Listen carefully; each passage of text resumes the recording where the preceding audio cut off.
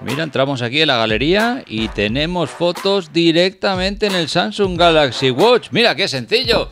¿Quieres aprender cómo hacerlo? Te lo enseño rápidamente. ¡Adentro!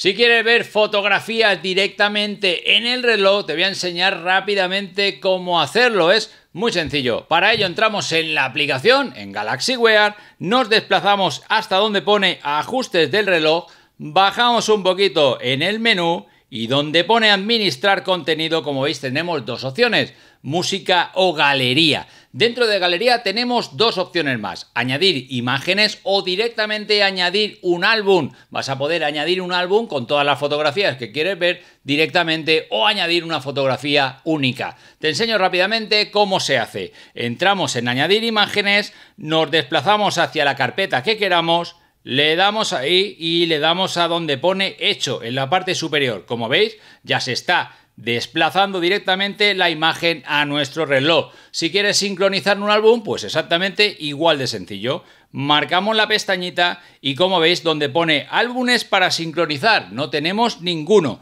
Le damos aquí a álbum para sincronizar y elegimos el álbum que queramos y le damos al botoncito de hecho. Como veis, el único límite es el que aparece en la parte inferior, límite de imágenes sincronizadas 200, pero también va a depender de lo que tú tengas descargado en tu reloj, aplicaciones, música, etcétera. Pero de esta manera tan sencilla hemos aprendido cómo desplazar, cómo tener imágenes para poder verlas directamente en el reloj. Y nada, como siempre, si te ha gustado el vídeo, pulgar arriba y si te ha gustado todavía más, suscríbete al canal. ¡Hasta luego!